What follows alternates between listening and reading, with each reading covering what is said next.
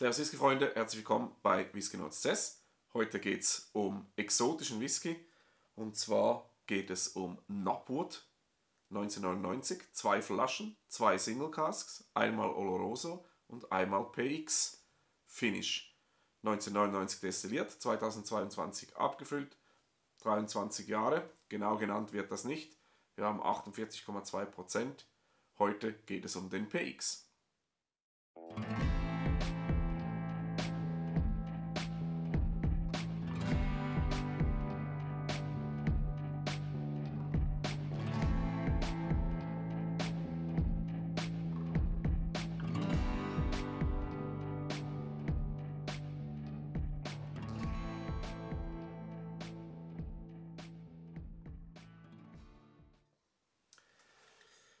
Ja, was haben wir hier vor der Linse? Knobwood ist eine, ich kann es nicht mal sagen, ob das eine Destille ist. Auf jeden Fall destilliert wurde dieser Whisky bei Sullivan's Cove. Das ist die älteste Destillerie, die Whisky-Destillerie Tasmaniens. Äh, was ich noch herausgefunden habe, das hat mich ein bisschen geschockt. Ähm, in Tasmanien gibt es aktuell über 80 Whisky-Destillerien. Das hätte ich niemals gedacht. Ähm, ist ein australischer Whisky demnach. Sullivan's Cove 1994 gegründet. Ähm, bei dieser Geschichte, die wurden exklusiv für eine Hongkonger Firma gemacht. Äh, ja, das Spezielle daran ist, das ist ein, wie gesagt, Sullivan's Cove Whisky, der in Tasmanien die erste Reifezeit verbringen durfte. Und dann wurde der, jetzt kommt's, ist auch hier auf dem Um Karton oder auf der Umverpackung ist es ähm, beschrieben. Es ging los mit dem Whisky in Hobart, Tasmanien. Und man sieht hier, dass die Pfeile weggehen. Für die Veredelung, also sprich für das Finish in Oloroso und PX, wurden die Fässer bzw. der Whisky nach Jerez de la Frontera verschifft. Das sind 9.500 nautische Meilen, umgerechnet sind das 17.600 Kilometer, wurden die Fässer per Schiff nach Spanien gebracht, um eben dieses Finish zu erhalten.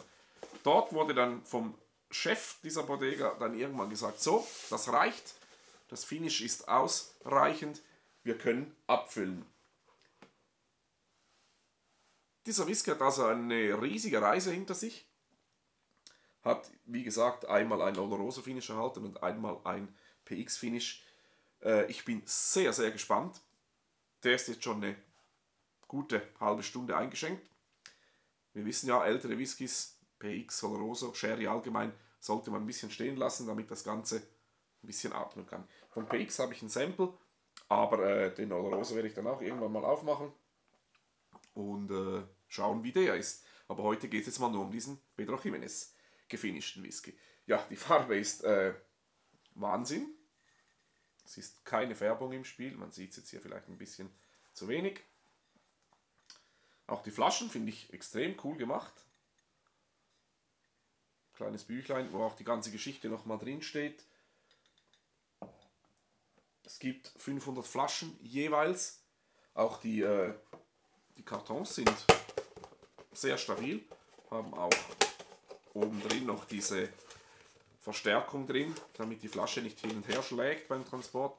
Ja, ich finde es cool hier mit den beiden Landkarten, den Ausschnitten, auch die Design-Verantwortliche äh, haben hier ganz ganze Arbeit geleistet. Äh, je nach was Spezielles draufsteht, ne, das ist genau die gleiche Geschichte.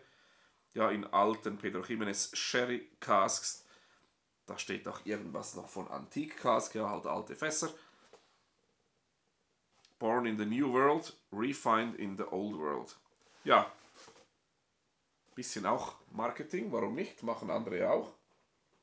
Ich bin jetzt jedenfalls gespannt, wie sich der im Glas macht. Farbe ein schönes Kupfer. Es riecht auch jetzt schon schön nach eingelegten Früchten. Also ich denke schon, dass der was kann. Nase.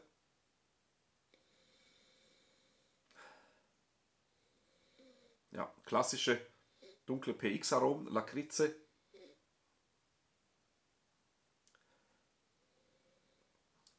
kräutrig, Möbelpolitur. auch Leder.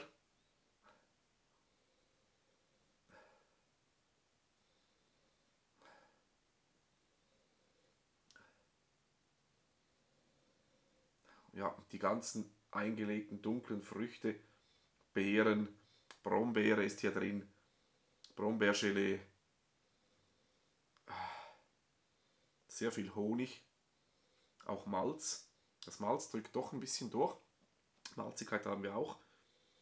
Aber es sind schon ganz klar die PX-Aromen, die hier den Lead haben.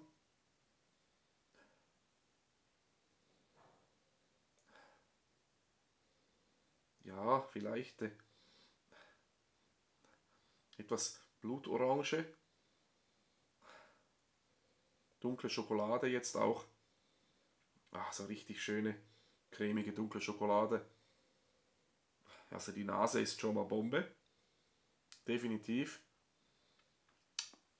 Sullivans Cove brennt übrigens traditionell auf Kupferpotstills. Das würde ich mir auch gerne mal ansehen, aber Tasmanien und Hobart, das liegt im Süden von Tasmanien, ein bisschen südwestlich, äh, südöstlich äh, der Insel. Viel weiter kann man nicht mehr wegfliegen von meinem Standort aus. Das ist nur noch Neuseeland, danach gibt es nichts mehr, wo man weiter fliegen könnte. Also das ist schon übelst weit weg. Das müsste man halt dann mal verbinden mit einem Neuseeland- oder Australien-Besuch. Aber ich hätte nicht gedacht, dass Tasmanien 80 Destillerien hat. Das hätte ich nicht gedacht. Sullivan's Cove selber zählt ja zu den besten oder die beste Whisky-Destillerie, hat ja auch schon überall Preise abgeräumt. Aber Preise, ja, kennen wir ja. Ein Preis nützt mir nichts, den kann ich nicht trinken. Ja, ich probiere jetzt mal einen Schluck. Slange. Keine Ahnung, was man in Tasmanien sagt.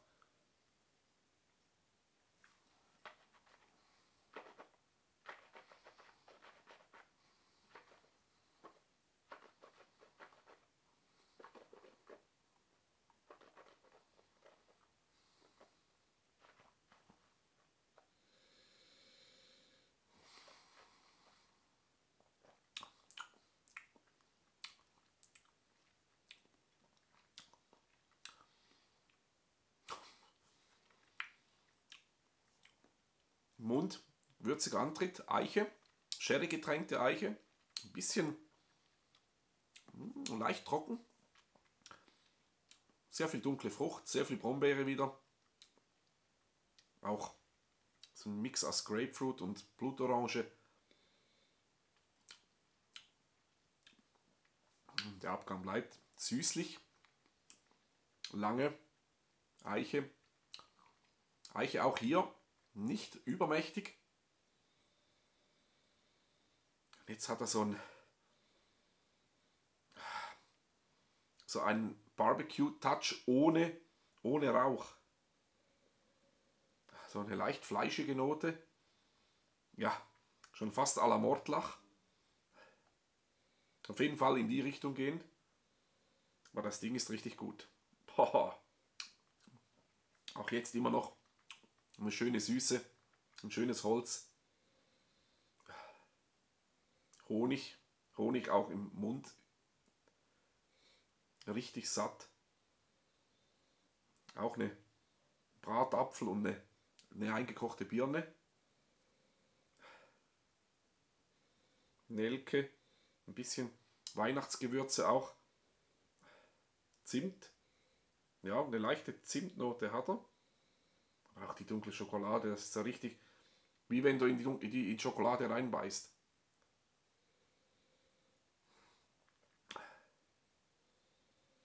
Auch eine leicht blumige, florale Note im Hintergrund, aber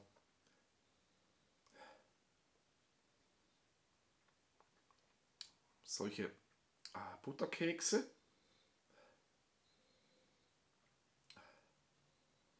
etwas Karamellfatsch. Also das Ding ist richtig vielschichtig, meine Herren.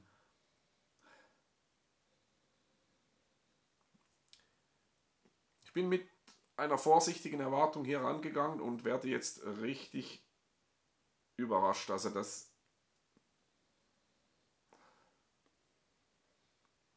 blind hätte ich nicht außerhalb Schottlands getippt. Definitiv nicht. Da hätte ich auf einen schönen,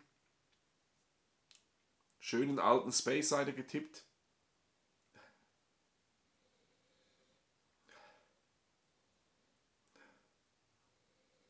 Ja, manchmal geht er auch in die Richtung von, gerade jetzt in der Nase, in die Richtung von Glengoyne, von diesen Sherry Single Cask oder Glendronach, geht so ein bisschen in die Richtung. Und trotzdem hat er noch nach 23 Jahren eine leichte Frische mit dieser eingekochten Birne, auch einem Spritzer Zitrus. Aber das ist wirklich alles so richtig krass ineinander verwoben. Das ist auch so ein abendfüllender Whisky, der, bei dem du wirklich stundenlang nur riechen kannst. Ja.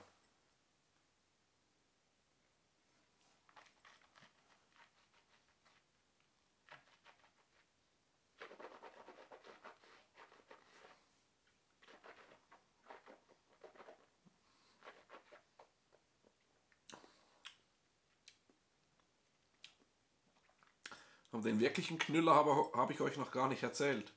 Den Preis dieser Flasche. Oder dieser Flaschen.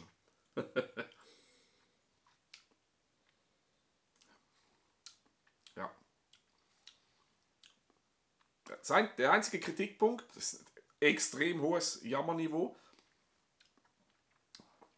Ja, nein, auf die andere Seite. Ich wollte jetzt sagen, dass er nicht ganz so eine Öligkeit hat, aber Nein, eigentlich er ist cremig, er hat eine leichte Öligkeit, also das ist eigentlich kein Kritikpunkt. Ja, ich hoffe, ihr sitzt. Diese Flaschen kosten, ich zähle noch mal kurz die Fakten auf.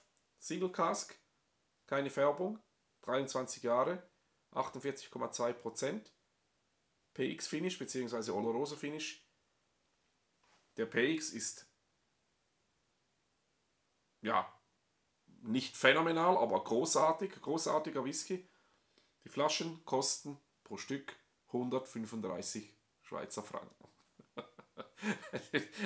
135 Franken für 23 Jahre Single Cask mit PX und Oloroso Finish mit einer Stückzahl von gut 500 Flaschen je. Das ist, das ist geschenkt heutzutage, das ist wirklich geschenkt. Und dann noch so eine Qualität. Ja, ich bin, ich bin richtig happy. Ich bin richtig happy. Ich hatte den richtigen Riecher. Ich habe recherchiert, ich habe die Flaschen angesehen. Die haben mir sofort, die sind mir sofort ins Herz gegangen, diese Flaschen. Rein vom optischen her schon und dann die Farbe. Ein bisschen, ein bisschen recherchieren. Die Tasting Notes, die damals schon existiert hatten, gelesen und ja, da kannst du eigentlich nicht viel falsch machen. Und dann habe ich den Preis gesehen und habe die dann geordert. Also beim PX kann ich schon mal sagen, Kaufempfehlung absolut. Wer so eine Flasche sieht und auf PX-Noten steht, auf ein, vielleicht eine kleine Bitterkeit, Eiche, Süße, Honig, Grapefruit, alles, was ich jetzt aufgezählt habe. Wer auf diesen Stil Whisky steht, der kann bedenkenlos zuschlagen. Also für mich geht das wirklich schon in die Richtung von schönen schottischen Sherry Single Casks à la Glengoyne, Glendronach, in die Richtung geht's. Glendronach vielleicht noch ein bisschen voller, ein bisschen extremer, aber die Richtung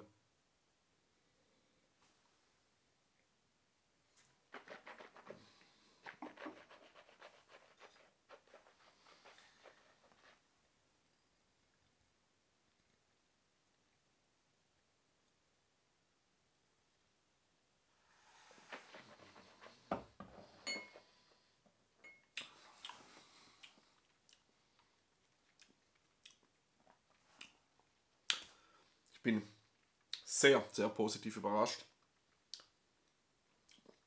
Wirklich geiler Tropfen. Für das Geld auch. Ja, der Kritze. Wirklich schön. Puderzucker. Ja, da freue ich mich, die Flasche dann aufzumachen. Ich habe noch schön was über im Sample. Und beim Olorosa bin ich dann auch gespannt. Von dem gibt es sicher auch ein Video. Ich muss auch für den Händler dann den mal aufmachen, um zu schauen, ob er sich dann auch noch eine Flasche aufmacht zum versampeln. Wir werden sehen. Ja, Knobwood 1999 Single Cask PX. Ich hoffe, euch hat es gefallen. Falls jemand diese Flasche hat und kennt, bitte schreibt es in die Kommentare. Es würde mich interessieren, wie eure Eindrücke sind. Ansonsten einen schönen Tag, eine schöne Zeit und bis zum nächsten Mal.